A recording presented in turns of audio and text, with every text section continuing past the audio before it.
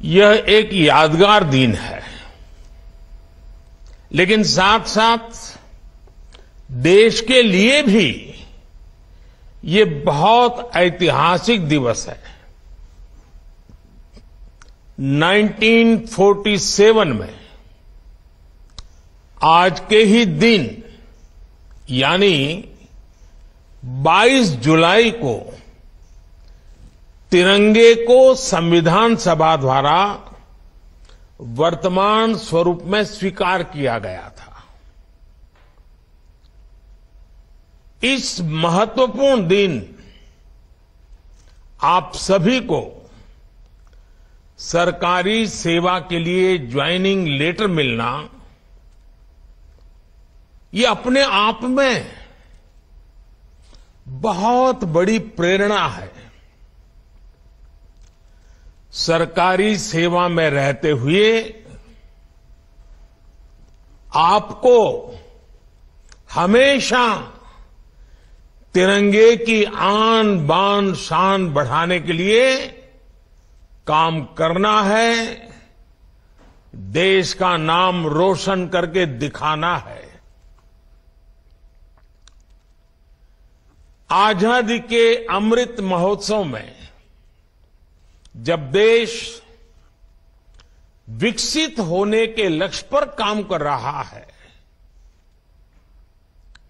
आपका सरकारी नौकरी में आना, ये बहुत बड़ा अवसर है। ये आपके परिश्रम का परिणाम है। मैं नियुक्ति पत्र पाने वाले सभी युवाओं को और आपके परिवारजनों को भी बहुत बहुत बधाई देता हूँ, बहुत बहुत शुभकामनाएँ देता हूँ। साथियों, आज़ादी के इस अमृत काल में सभी देशवासियों ने अगले 25 वर्ष में भारत को विकसित भारत बनाने का संकल्प लिया है। आप सभी के साथ ही भारत के लिए भी ये 25 अगले 25 साल, जैसे आपके जीवन में अगले 25 साल महत्वपूर्ण है, वैसे ही भारत के लिए अगले 25 साल बहुत ही अहम है। आज दुनिया में भारत के प्रति जो विश्वास बना है, भारत के प्रति जो आकर्षण बना है, आज भारत की महत्ता बनी है।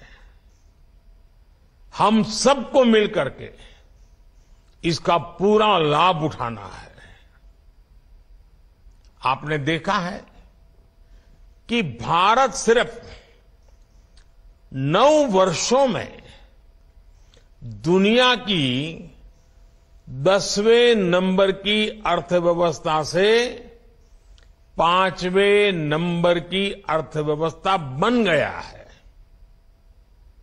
आज हर एक्सपर्ट ये कह रहा है, कुछ ही वर्षों में भारत दुनिया की टॉप थ्री इकोनॉमी आ जाएगा।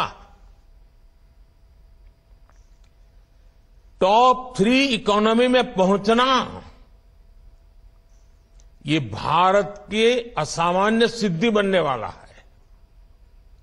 यानी हर सेक्टर में रोज़गार के अवसर भी बढ़ने वाले हैं और सामान्य नागरिक की आय भी बढ़ने वाली है। हर सरकारी कर्मचारी के लिए भी इससे बड़ा कोई अवसर नहीं हो सकता है, इससे बड़ा कोई महत्वपूर्ण समय नहीं हो सकता है। आपके फैसले, आपके निर्णय देश हित में देश के विकास को गति देने वाले होंगे ही, ये मेरा विश्वास है। लेकिन ये मौका, ये चुनौती, ये अवसर, सब कुछ आपके सामने है। आपको इस अमृत काल में देश सेवा का बहुत बड़ा वाकई बड़ा अभूतपूर्व अवसर मिला है। देश के लोगों का जीवन आसान हो, उनके जीवन से मुश्किलें समाप्त हो, ये आपकी प्राथमिकता होनी चाहिए।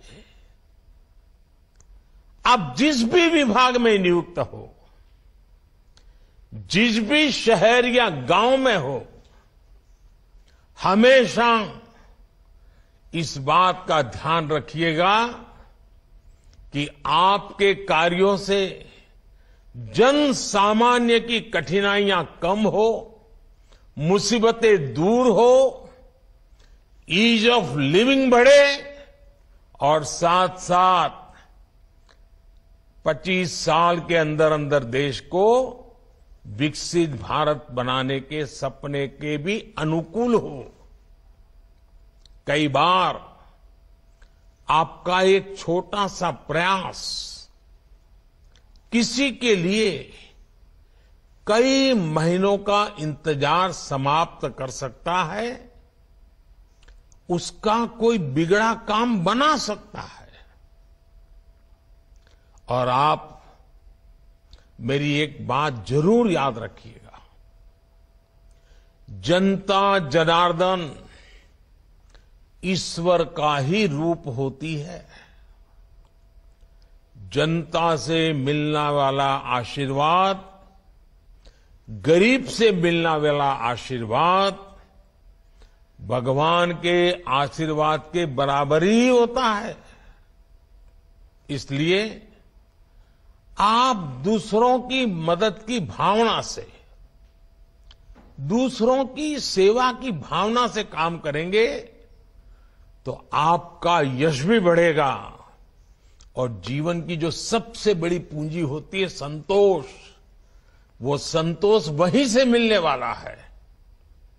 साथियों, आज के इस कार्यक्रम में बैंकिंग सेक्टर के काफ़ी लोगों को नियुक्ति पत्र मिल रहे हैं। अर्थव्यवस्था के विस्तार में हमारे बैंकिंग सेक्टर की बहुत बड़ी भूमिका होती है। आज भारत उन देशों में से एक है जहाँ का बैंकिंग सेक्टर सबसे मज़बूत माना जाता है। लेकिन नौ वर्ष पहले ऐसी स्थिति नहीं थी जब सत्ता का स्वार्थ राष्ट्रहित पर हावी होता है, तब कैसी बर्बादी होती है? कैसा विनाश होता है? देश में कई उदाहरण है। ये हमारे बैंकिंग सेक्टर ने तो पिछली सरकार के दौरान ये बर्बादी को देखा है, झेला है, अनुभव किया है। आप लोग, आजकल तो डिजिटल युग है। मोबाइल फ़ोन से बैंकिंग का सेवाएँ लेते हैं फ़ोन बैंकिंग करते हैं, लेकिन आज से नौ साल पहले जो सरकार थी ना, उस समय ये फ़ोन बैंकिंग का कल्पना ही अलग थी, रिवाज ही अलग था, तरीके अलग थे, इरादे अलग थे। उस जमाने में, उस सरकार में ये फ़ोन बैंकिंग मेरे आपके जैसे सामान्य नागरिकों के लिए नहीं था। देश के 140 करोड़ देशवासियों के लिए नहीं था। उस समय एक खास परिवार के करीबी कुछ ताकतवर नेता बैंकों को फ़ोन करके अपने चहेतों को हज़ारों करोड़ रुपए का लोन दिलवाया करते थे। ये लोन कभी चुकाया नहीं जाता था। और कागज़ी कार्रवाई होती थी, एक लोन को चुकाने के लिए फिर बैंक से फ़ोन करके दूसरा लोन दूसरा लोन चुकाने के लिए फिर तीसरा लोन दिलवाना। ये फ़ोन बैंकिंग घोटाला पहले की सरकार के, पिछली सरकार के सबसे बड़े घोटालों में एक था।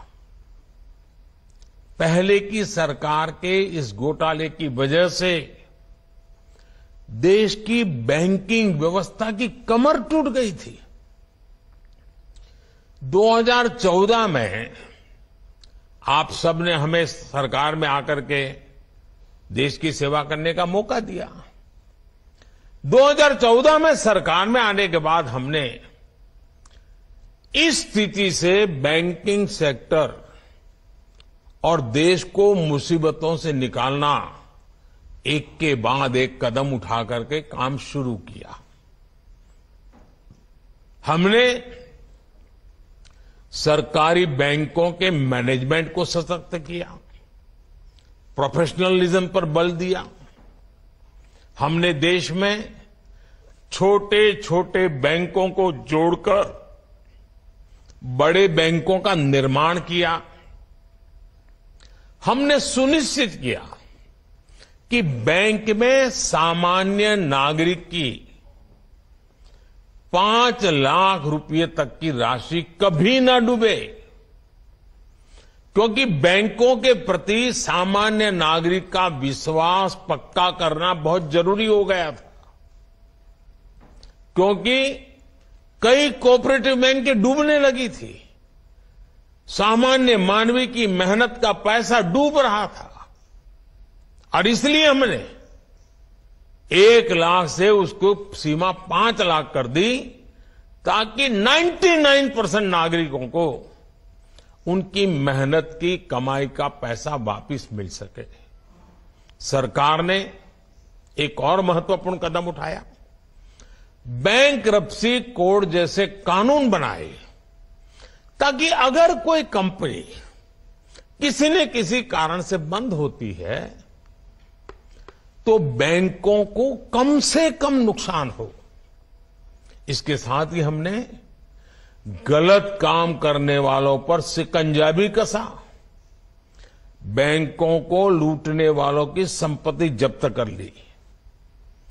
आज परिणाम आपके सामने है। जिन सरकारी बैंकों की चर्चा हज़ारों करोड़ के नुकसान के लिए होती थी, एनपीए के लिए होती थी, आज उन बैंकों की चर्चा रिकॉर्ड प्रॉफिट के लिए हो रही है।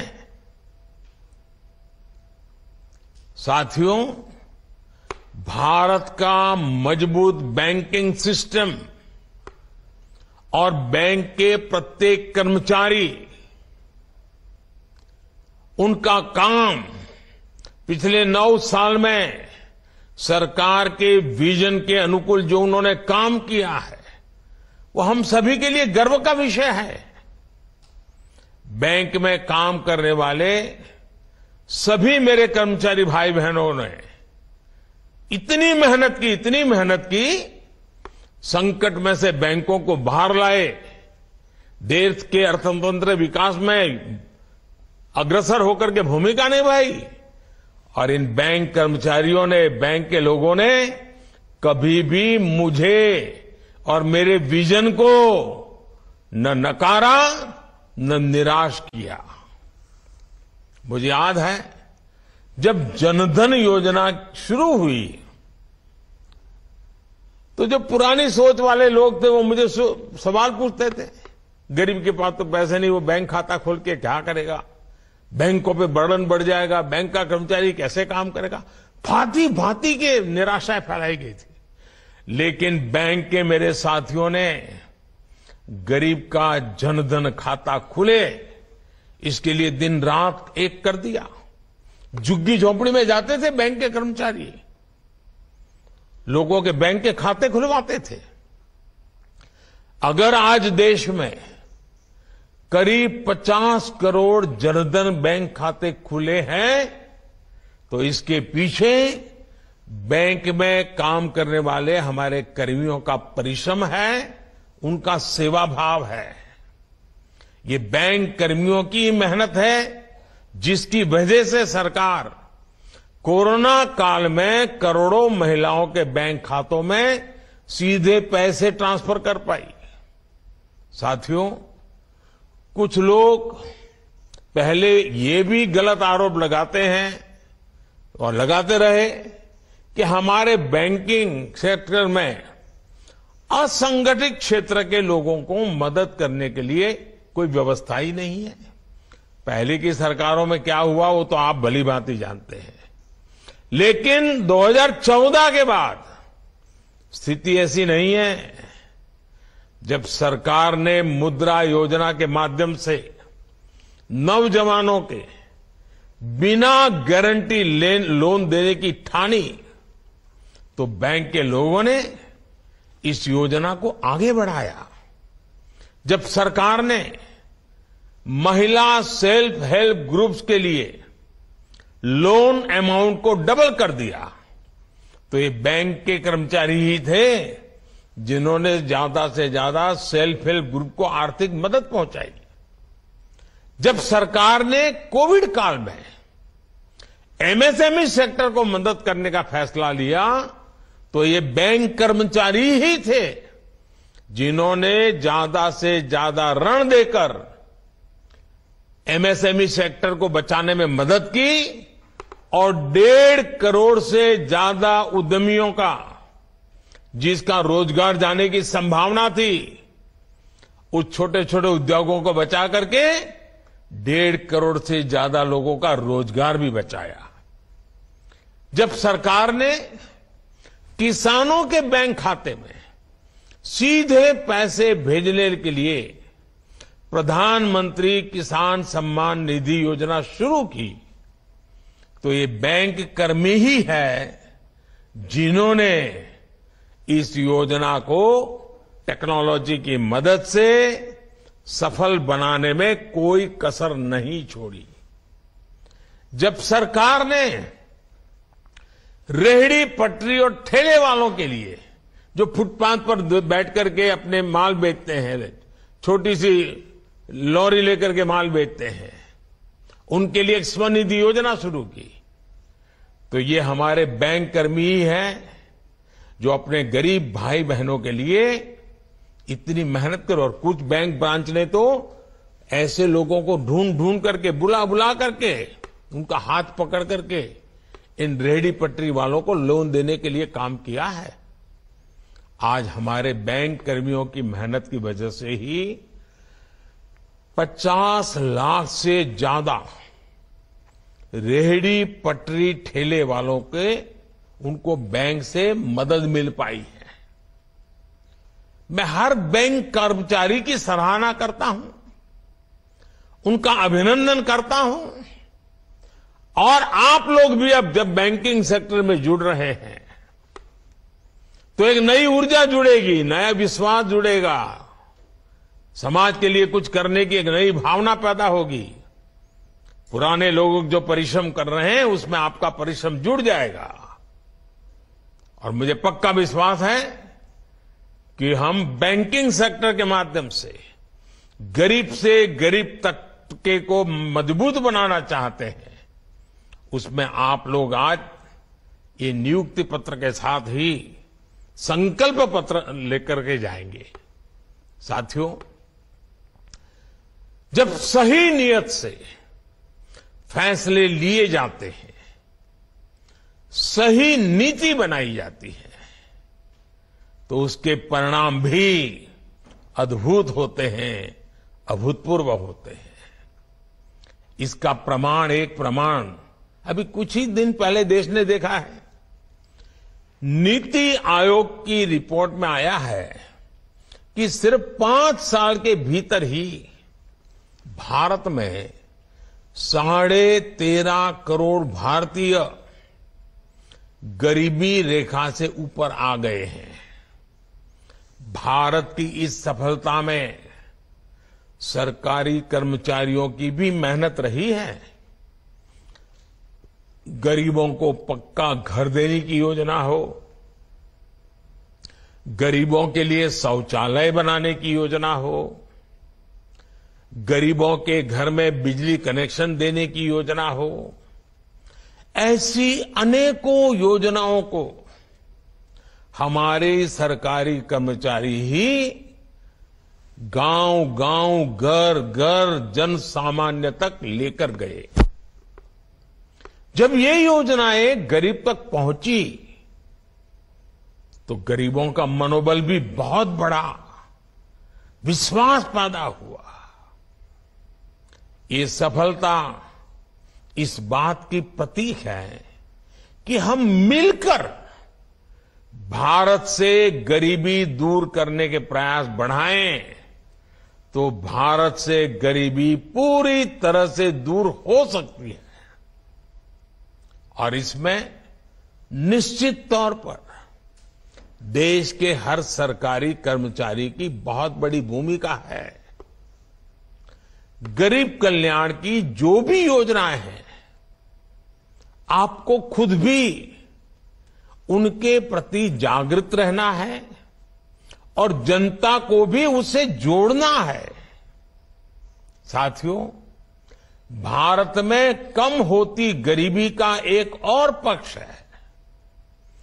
कम होती गरीबी के बीच देश में नियो मिडिल क्लास का लगातार विस्तार हो रहा है।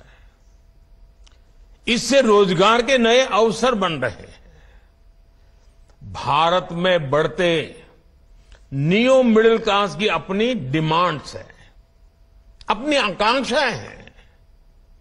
इस डिमांड की पूर्ति के लिए आज देश में बड़े पैमाने पर मैन्युफैक्चरिंग हो रही है। आज जब हमारी फैक्ट्रियाँ, हमारे उद्योग रिकॉर्ड उत्पादन करते हैं तो उसका लाभ भी सबसे अधिक हमारे युवाओं को होता है। आजकल आप देखिए, आए दिन किसी नए रिकॉर्ड की चर्चा होती है, नए अचीवमेंट की चर्चा होती है। भारत से रिकॉर्ड मोबाइल फ़ोन एक्सपोर्ट हो रहे हैं। भारत में इस साल के पहले छह महीने में जितनी कारों की बिक्री हुई है, वो भी उत्साह बढ़ाने वाली है। इलेक्ट्रिक व्हीकल्स की भी भारत में रिकॉर्ड बिक्री हो रही है। ये सब देश में रोज़गार बढ़ा रहे हैं। रोज़गार के अवसर बढ़ा रहे हैं। साथियों, भारत के टैलेंट पर आज पूरी दुनिया की नज़र है। दुनिया में अनेक विकसित अर्थव्यवस्थाओं में लोगों की उम्र तेज़ी से बढ़ रही है। सीनियर सिटीजन से दुनिया के कई देश विपुल संख्या से भरे हुए हैं। युवा पीढ़ी उनके यहाँ कम होती जा रही है। काम करने वाली आबादी घट रही है। इसलिए ये समय भारत के युवाओं के लिए बहुत मेहनत करने का है। अपनी स्किल, अपनी क्षमताओं को बढ़ाने का है। हमने ये देखा है कि भारत के आईटी टैलेंट की डॉक्टरों की, नर्सों की, और हमारे गल्फ कंट्रीज़ में तो कंस्ट्रक्शन की दुनिया में काम करने वाले हमारे साथियों की कितनी डिमांड रही है। भारतीय टैलेंट की इज़्ज़त हर देश में, हर सेक्टर में लगातार बढ़ रही है। इसलिए पिछले नौ वर्षों में सरकार का बहुत बड़ा फोकस स्किल डेवलपमेंट पर रहा है। पीएम कौशल विकास योजना के तहत लगभग डेढ़ करोड़ युवाओं को ट्रेनिंग दी जा चुकी है। सरकार 30 30 स्किल इंडिया इंटरनेशनल सेंटर भी स्थापित कर रही है ताकि हमारे युवा ग्लोबल अपॉर्चुनिटी के लिए तैयार हो सके। आज देश भर में नए मेडिकल कॉलेज, नई आईटीआईज, नई आईआईटी, टेक्निकल इंस्टीट्यूट्स बनाने का भी अभियान जोरों पर चल रहा है। 2014 तक हमारे देश में करीब 380 मेडिकल कॉलेज ही थे। पिछले नौ वर्षों में ये संख्या 700 से अधिक हो चुकी है। इसी प्रकार नर्सिंग कॉलेजों में भी बहुत बड़ी बढ़ोतरी हुई है। ग्लोबल डिमांड को पूरा करने वाली स्किल्स भारत के युवाओं के लिए लाखों नए अवसर बनाने जा रही है।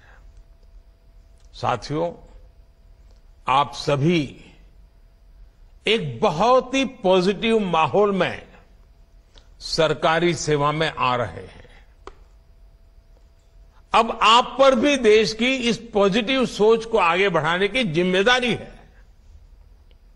आप सभी को अपनी आकांक्षाओं को भी विस्तार देने का प्रयास करना चाहिए। नई जिम्मेदारियों से जुड़ने के बाद भी आप सीखने और सेल्फ डेवलपमेंट की प्रक्रिया को जारी रखें। आपकी मदद के लिए सरकार ने online learning platform I GOT Karmayogi तैयार किया है। मेरा आप सबसे आग्रह है कि इस सुविधा का ज़्यादा से ज़्यादा लाभ उठाने का प्रयास करें। एक बार फिर मैं आपको, आपके परिवार के लोगों को इस नई जिम्मेवारी के लिए बहुत बहुत बधाई देता हूँ और इस नई जिम्मेवारी एक आरंभ बिंदु है। आप भी ज़िंदगी की अनेक नई ऊंचाइयों को प्राप्त करें। आपके माध्यम से जहाँ भी आपको सेवा करने का मौका मिले, देश का हर नागरिक अपने सपनों को पूरा करने के लिए आपके कारण बहुत नई ताकत को प्राप्त करें। आप अपने हर सपनों को पूरा करें। संकल्प को पूरा करें, इस जिम्मेवारी को बखूबी निभाएँ, इसके लिए मेरी तरफ़ से आपको बहुत बहुत शुभकामनाएँ हैं। बहुत बहुत धन्यवाद। तो यहाँ पर आप प्रधानमंत्री को सुन रहे थे। प्रधानमंत्री ने आज सत्तर हज़ार युवाओं को नियुक्ति पत्र सौंपा है और इस दौरान प्रधानमंत्री ने कई बातें की, जिसमें बैंकिंग के लोगों को क्योंकि ये नियुक्ति पत्र सौंपा गया है तो उन्होंने ये भी कहा कि देश की पॉजिटिव सोच को अब आगे बढ़ाने की आप पर ज़िम्मेदारी है। जल्द ही भारत टॉप थ्री इकोनॉमी में होगा और भारत के प्रति लोगों का बाहर देशों में विश्वास बढ़ा है।